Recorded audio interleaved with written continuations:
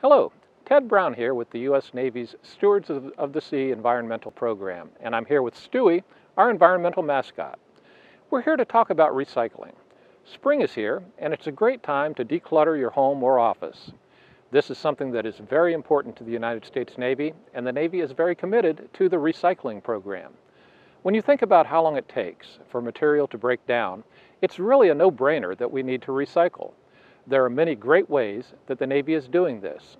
The Navy is doing a lot to reduce, reuse, and recycle, both on our ships and ashore. First, reduce. Look to reduce the amount of material that we produce. Think before you print. Bring a reusable mug to the meeting. Use a reusable water bottle. If you must use a straw, use a paper straw or a reusable straw. Carry a reusable bag with you when you go shopping. And shop locally so that you can ride a bike or walk to the store. And turn out the lights as you leave the room. Secondly, reuse. We look at ways to reuse material, making things out of material that would end up in the trash. Plastic bag mats for the homeless or reusable bags for shopping. And third, recycling. The Navy recycles paper, aluminum cans, and plastic bottles. They can all go in the same bin. Therefore, it does not go to a landfill.